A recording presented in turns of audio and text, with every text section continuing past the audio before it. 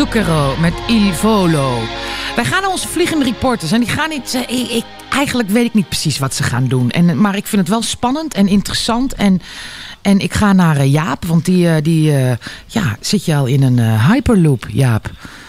Ja, ja joh, jij weet niet wat we gaan doen. Dat vind ik altijd leuk, Maya. Dat, ja, wat wij gaan doen, wij gaan het hebben over de Hyperloop.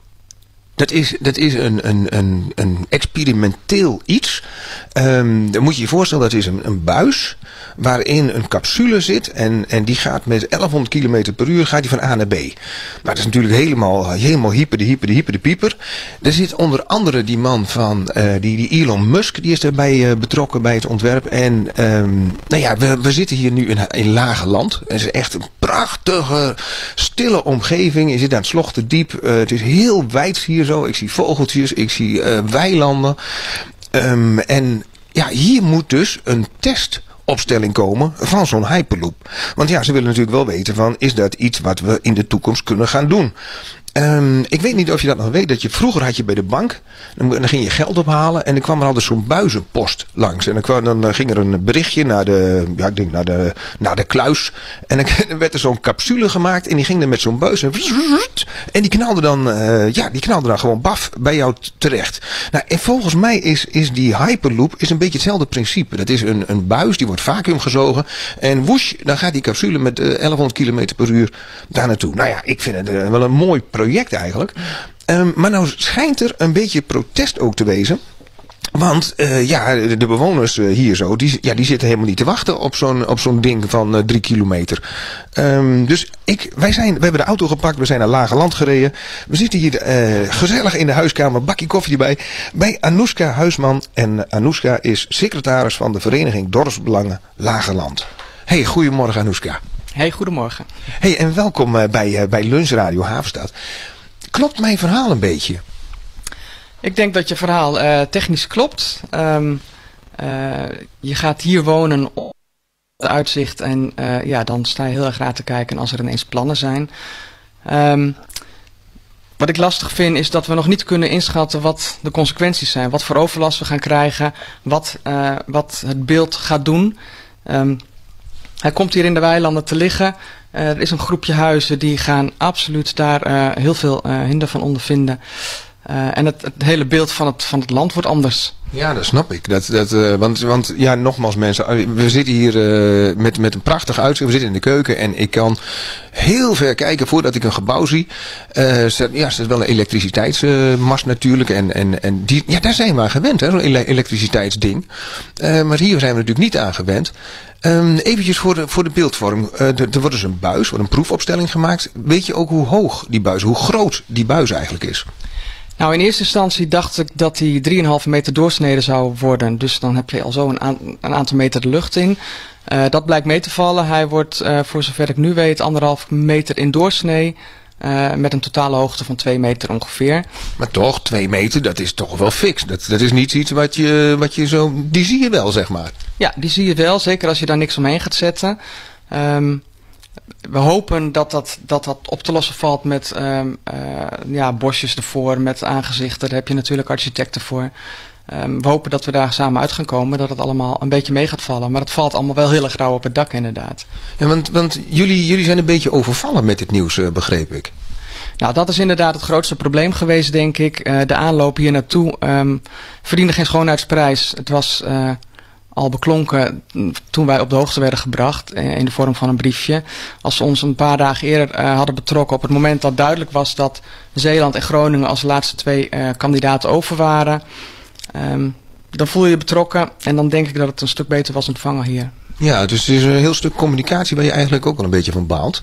Ehm, nou is het gepresenteerd ehm, als joepie, Groningen heeft gewonnen. Maar jij voelt dat dus wel anders. Nou, het is heel dubbel. Ik moet eerlijk zeggen, eh, ik werk ook zelf bij de gemeente Groningen. Eh, en ik denk, ja, in zijn algemeenheid is het helemaal prima. Is het mooi eh, dat zo'n project wordt binnengehaald. Maar nogmaals, mensen moeten betrokken zijn die daar mee te maken krijgen, die daar last van krijgen. En dat is gewoon te laat gebeurd. Dus ik hoop dat we vanaf nu een, een doorstart maken. En daar heb ik ook wel vertrouwen in. Dat we het nu wel samen gaan doen, zeg maar. En dat de bewoners er, dat de boosheid een beetje weggenomen wordt. Ja, ik kan me voorstellen dat je in, in eerste instantie boos bent, maar je klinkt ook wel eigenlijk heel realistisch. Dat je zegt van, uh, je klinkt niet alsof je er keihard tegen bent. Want je, tenminste, klopt dat? Dat klopt, ik ben niet keihard tegen. Um, ik vind wel dat mensen uh, gecompenseerd moeten worden um, als er sprake is van ja, het verlies van woongenot, zeg maar. Denk je dat er, er ook een waardevermindering is van, je, van, van de woningen? Dat kan zeker voor woningen, uh, voor sommige woningen zeker het geval zijn. Um, je zit natuurlijk al in aardbevingsgebied, dus het is allemaal al wat gevoelig, uh, uh, de waarde van woningen. Ik denk dat dat hier zeker mee gaat spelen, ja. Ik denk dat je een punt hebt hoor, wat dat betreft. Uh, worden jullie ook bijgestaan door bijvoorbeeld een advocaat of, of, of zijn jullie gewoon zelfstandig? Je bedoelt als dorpsbelangen? Ja, nee, wij zijn zelfstandig en het is nog een beetje zoekende naar of de vereniging Dorpsbelangen hier überhaupt echt een rol in moet spelen. alle aanwonenden um, moeten betrokken worden en dat moet onafhankelijk zijn van het feit of ze wel of niet lid zijn van onze vereniging. Dus ik probeer in ieder geval de voortgang van het hele project zoveel mogelijk met de leden te delen. Maar de samenwerking tussen de gemeente en de bewoners vind ik, die, die moet rechtstreeks zijn. Daar moeten wij niet tussen zitten.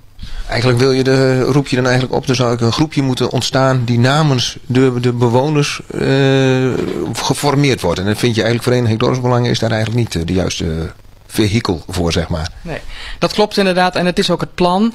Uh, het plan is om uh, alle um, mensen die dat willen um, deel te laten nemen in een klankbordgroep. Daar komt um, binnenkort een uitnodiging van namens de gemeente. En in de klankbordgroep gaan we kijken van nou wie wil wat voor rol spelen en, en wat voor bijstand kunnen we eventueel krijgen van verschillende vormen. Uh, maar dat moet allemaal nog, het staat allemaal nog in de, in de kinderschoenen, zeg maar. Ja, dan heb je ook enig idee wat het, uh, het tijdspad is? Wanneer, wanneer, ja, eerst moet natuurlijk toestemming wezen, maar uh, er zal er een vergunning moeten komen. Hoe, hoe, wanneer zal, zal dit echt zijn? Wanneer beginnen ze met bouwen? Nou, de eerste berichten waren dat ze eind jaar zouden beginnen. Maar uh, daar gelooft niemand in en dat wordt ook door de gemeente weerlegd. Want uh, er zal een bestemmingsplan aangepast moeten worden. Er moet het tal van vergunningen uitgegeven worden. En daar ben je sowieso een jaar mee verder. Dus um, ik verwacht niet dat ze in 2020 überhaupt één schop in de grond steken. Ja, wat je zou kunnen doen, ik, ik geef maar een ideetje. Je kan natuurlijk een beetje traineren door protest aan te tekenen. Dat mag met iedere vergunning. Ja. Zijn jullie dat van plan? durf ik niet te zeggen ik zelf heb daar nog geen plannen voor. Ik weet niet of dat bij anderen wel het geval is. Maar dat, dat zou heel goed kunnen, ja.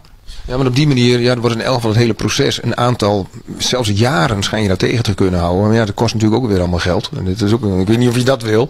Maar goed, um, ik, ik, denk je dat, even heel wat anders. Denk, je dat dit een toekomst is waar we straks, hè, over weet ik veel, missie over 10 jaar of over 15 jaar, dat we met de hyperloop van, van lage land uh, rechtstreeks naar Parijs gaan en bam, in, in een half uurtje beter?